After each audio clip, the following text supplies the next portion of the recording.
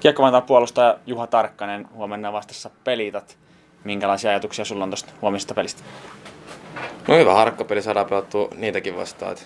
Nähdään vähän miten ne on tehnyt kesän, kesäaikana hommia ja pystytään vielä mittaa itteemme vielä noissa kehityskohteissa.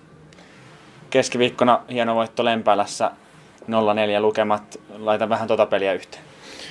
Öö, kypsä vieraspeli oli kyllä hyvä tasannosto sitten viime perjantai tutopelistä.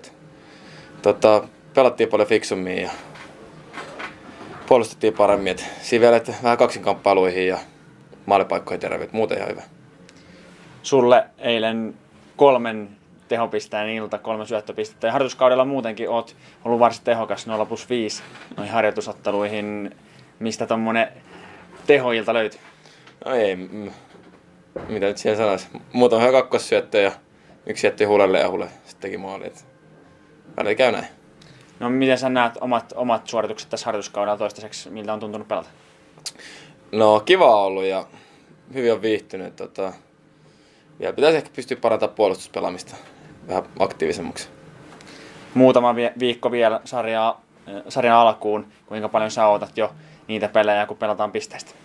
Kyllä tässä alkaa hiljalleen odottaa jo. Että odottavasti fiilikset alkaa olla, kun meni ihan pelit ihan joukkoja parempaan suuntaan, niin haluaisit alkaa siellä.